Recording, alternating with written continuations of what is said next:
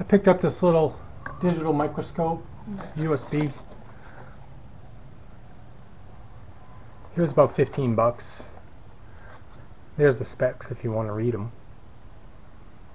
I'm not going to go down through all that, but I can show you some on the thing. It has a button for take a, a picture, and it has the button on the other side for the light.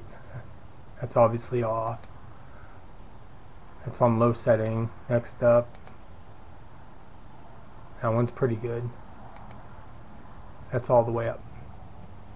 And I got it mostly to, to look at circuit boards for mistakes and, and uh, like bridges on the solder and cold solders and stuff like that. So I don't want to look at anything really close.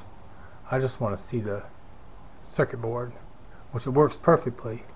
But you can change it. That's 640 by 480 and 1280 by 720. Gets right in there. Gets kind of grainy. But you can still see everything. Then it gets up to 1920 by 1080, which is really grainy. But still, it's not bad, but I won't be looking at anything that close. I'll be using the 640 by 480.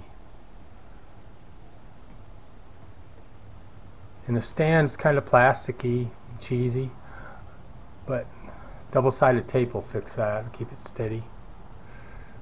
And uh, I had to like move the stand up on a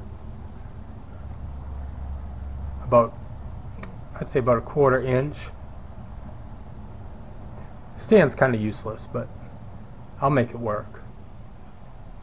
And on the side, on the front of the camera, I'll show you, there's a little slide to adjust the focus. See, out and back in. So I have trouble seeing stuff on circuit boards, any errors, so this will be handy and it comes with a uh, little ruler for calibrating. I don't know if you can see that. A little plastic, clear plastic. That's for calibrating. And it comes with the uh, drivers. So I already installed these. A little disc, old school. And instructions, which are, are really vague. On this stuff, usually instructions are super vague. But you just have the uh, you can capture a video I'll do a short video. Now it's recording. Like why would you want to? Uh,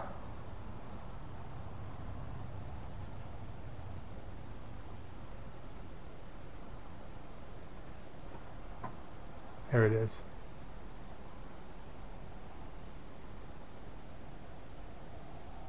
Or you can or you can do a photo snap an image. There it is.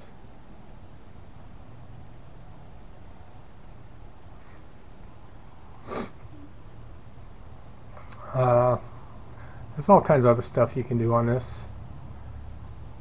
You can do cross lines, measurements, measurements with circles,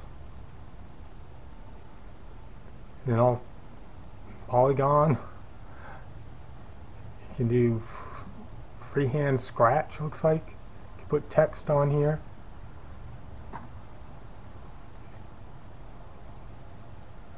You can delete the last measure shape.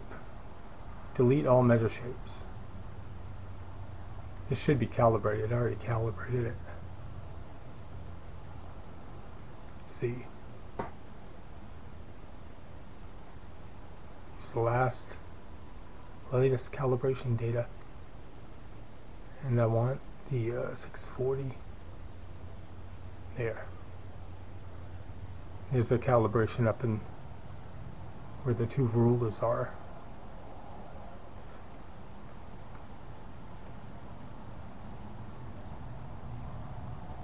I mean this could come in handy for taking out a splinter in your hand I guess if you really wanted to see up close. But basically I'm just using it for circuit boards.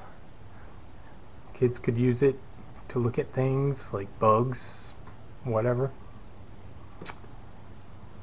It's going to be handy for the circuit boards.